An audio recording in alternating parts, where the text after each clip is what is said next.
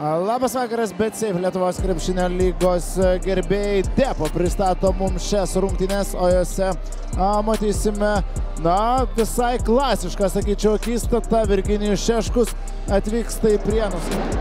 Sibet. Vėl su kamoliu Jeffrey Garetas ir su gera energija pradeda rungtynės Jonaviečiai.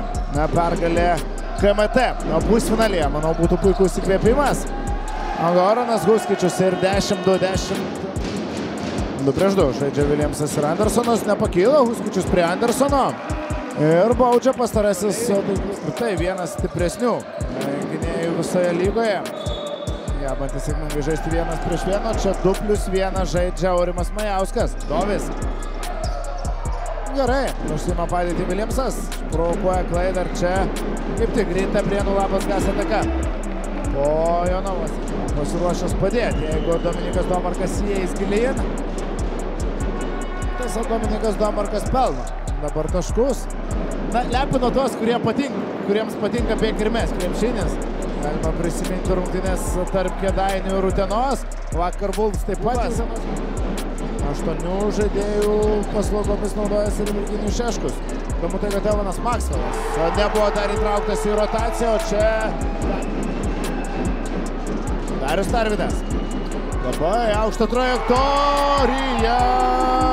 Darius tas kontaktas ir pataikyti jis nesugebėjo. Geretas. Laisvas.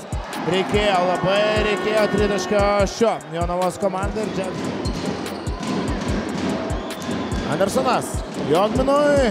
Ir Jogminas išlygina rungtynių rezultatą. 4-5 po trijų kelinių ir lauksime ketvirtų. Mano tranzicijoje labas gas ieškoti opcijų. Kienas Andersonas. Jo geras perdavimas Viljamsui.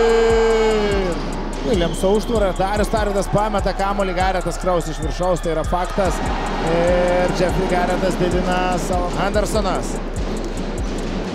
Agresyvus Huskičius perimetre. Tarvidas iš trijų taškų zonos ir tai yra trys taškai. Stringa Jonavos komandos polimas prieš šią judrę ir kibę gynybą geria. Tas trys taškai. Keturias sekundės, tuomet jau turėsi prasiženginėti. Reikia greito metimo. Kijanas Andersonas pražanga ir du taškai. Kijanas Andersonas. Arvidas išmeta iš trijų taškų zonos netaikliai. Domarkas dar trys sekundės. Domarkas. Nėra taškų ir Prienų ekipa savo viltis laidoje. 69-70.